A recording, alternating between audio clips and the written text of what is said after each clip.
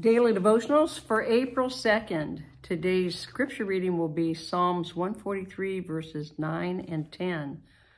Deliver me, O Lord, from my enemies. In you I take shelter. You know, that is really powerful, and it shows humility. Think about that. David is crying out. You know, the enemies are chasing him. He had plenty of enemies. Do you have any enemies? Sometimes we think we don't. I remember when I thought I didn't, and the Lord showed me that I did. So, and that's what I did.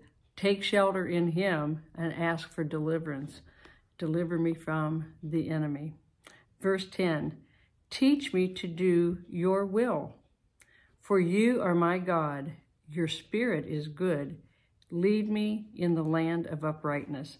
Well, that's what I did. I had plenty of enemies, didn't I just didn't think I did.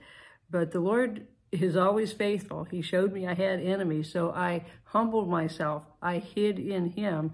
He said, you hide in me, you stay in me, and I am going to fight your battles.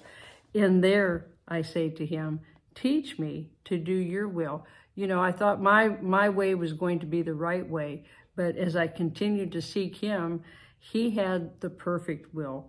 And Therefore, you know, we we always want to strive. I hate to use that word, but we always want to try to come into that uh, place with him that it's not our will, it is his will. Okay, just like Jesus going to the cross. He probably really didn't want to do this, but he said, it's not my will, Father, I want your will. And that's what we do. Teach me your will. Because if we know the Father's will, then we can walk in victory all the time, okay?